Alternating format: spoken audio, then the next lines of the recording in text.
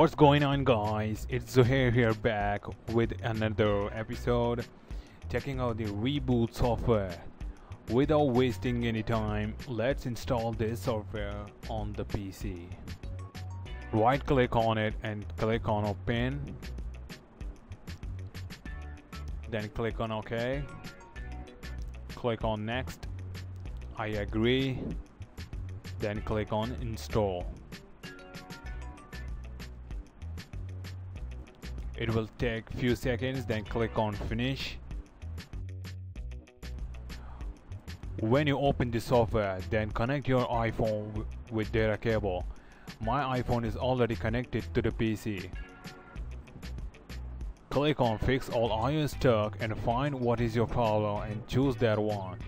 This will fix your iOS issues like stuck on Apple logo stuck on recovery mode, black screen, and lots of things inside this software.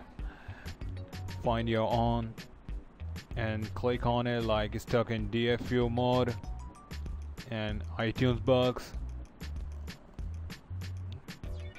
screen stucks, black screen, boot screen, splash screen. I hope you will like this software. If you enjoyed then leave a thumbs up and don't forget to subscribe my channel. And I will see you in the next video.